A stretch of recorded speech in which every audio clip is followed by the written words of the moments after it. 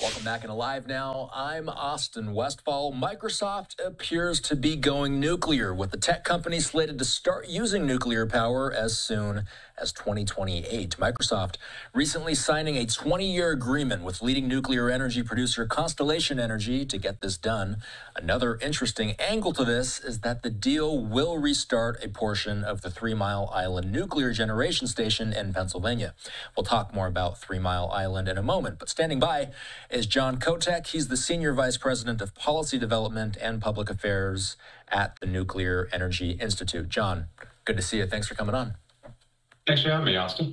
Absolutely. So, this is an interesting one. Give us a bit of history on what we need to know about the facility that's coming back online for Microsoft. Three Mile Island is located near Harrisburg, Pennsylvania. Some may be familiar with the fact that it had a partial meltdown incident in the late 70s. What's been happening there ever since? Yeah, so while they did have the accident 45 years ago at one of the uni- units, the other one continued operating, uh, and it operated through the year 2019 at which point it was shut down because it was receiving insufficient revenues in the electricity markets. This was before people were placing a lot of value on the firm, clean aspect of nuclear energy generation. But a lot's changed in the last five years. And a lot of the big tech firms, Microsoft, Amazon Web Services, and especially Google, have been highlighting the need for firm, clean generation, meaning generation that is both carbon free but is also available around the clock if we're going to get to an affordable, reliable, uh, and clean energy grid. And so that's led to deals like the one you see here between Microsoft and Constellation to bring back uh, a uh, mothballed nuclear power plant.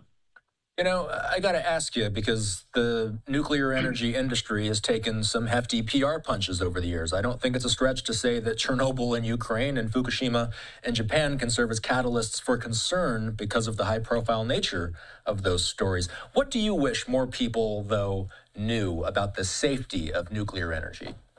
Yeah, well, so what's happening now is people, as we look to uh, decarbonize our energy system, they're really being confronted with the need to look at the full life cycle of impacts of our various energy generating resources. And so, with respect to nuclear in particular, you talk about the Three Mile Island incident, that was 45 years ago.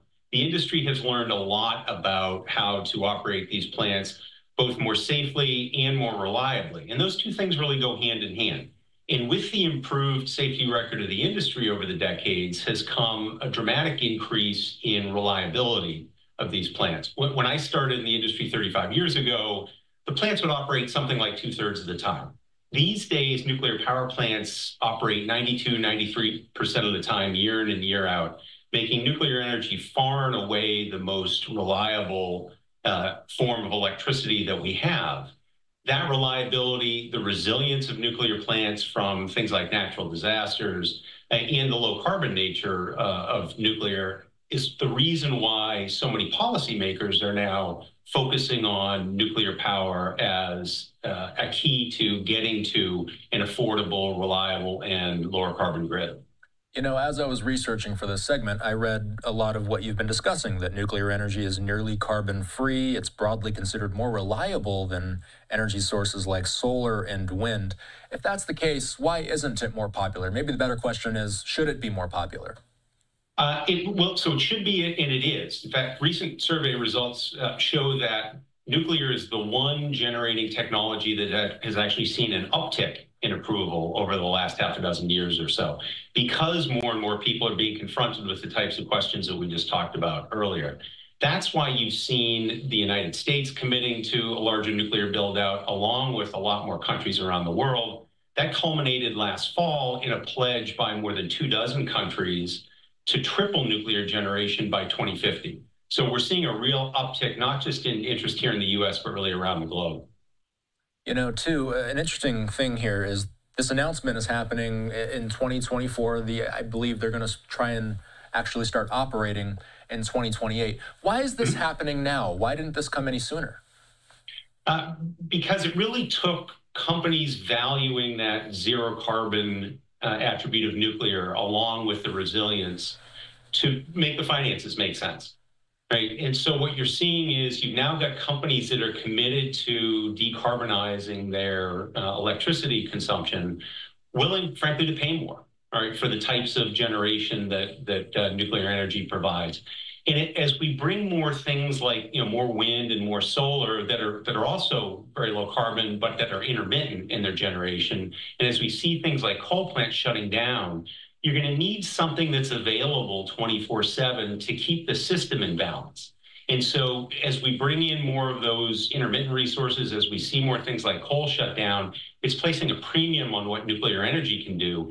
That's why you've seen this deal here. You saw Amazon Web Services sign a deal with uh, the Susquehanna nuclear power plant in Pennsylvania. You've seen an effort to bring back a nuclear power plant in Michigan. You're also seeing a lot more interest in building new nuclear. So we had the two new plants come online in Georgia in the last year or two, but there's a lot more utilities that are now planning on new nuclear to come online in the 2030s. You know, I got to ask is what is the future of nuclear energy? Is it tech? Is it AI? Is it more than that?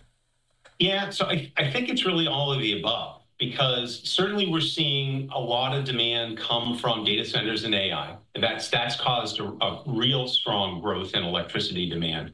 We're, we're also seeing interest in electrifying transportation, uh, moving away from fossil fuels into electricity for things like building heat, for industrial uh, heating applications. All of that is coming together to create a, interest in and a demand for new nuclear that's anything uh, like I've seen in my 35 year career.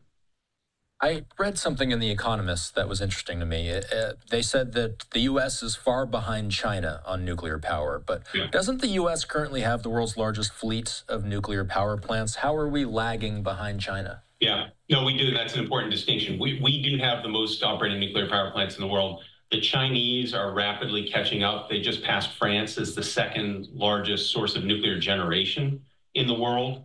Uh, but whereas China has brought on about 40 new nuclear power plants over the last decade and is building 30 more, we have brought on three in the last decade and don't have uh, any that are uh, in full construction right now. We have some where site preparations are underway. But what that underscores is a need for us to get busy again. And if we're going to meet this uh, growth in electricity demand for the reasons we talked about earlier, we're going to have to have a lot more new nuclear alongside a lot more wind, solar, storage uh, in the transmission lines to knit it all together. All right. John Kotek is with the Nuclear Energy Institute. Nice talking to you. Take care.